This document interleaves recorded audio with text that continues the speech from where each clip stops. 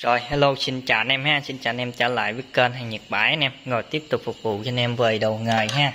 Rồi em có một lô đồ anh em về cho anh em mình bán lại ha hoặc là gì đó. Cứ liên hệ em, em sẽ báo giá cho anh em ha.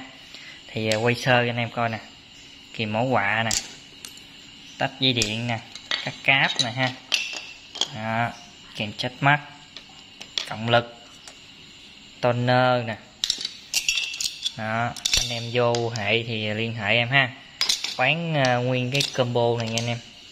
Fujiya nè. Fujiya nè ha. Sanki. Kéo cắt cành nè. Kìm cạp nè. Kìm bấm nè.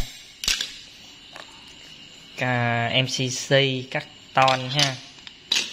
Rồi ờ, uh, kìm bấm này nó bị lỗi mất cái um, mất cái cái um, cái lò xo anh em. Đó, lô này ha. Một món, hai món, ba, bốn, năm, sáu, bảy, tám, chín, mười mười một, mười hai, mười ba, mười bốn, mười lăm món ha. Đó, lô số 1 15 món. Rồi, lô số hai. Một món, hai món nè. Ba món nè, bốn món nè. Năm, sáu nè. Bảy nè. Tám nè.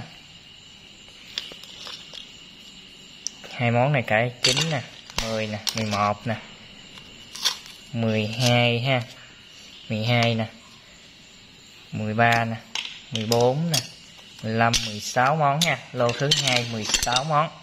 Đó, anh em mua thì liên hệ em. Hello anh em em sẽ báo giá cho từng lô anh em.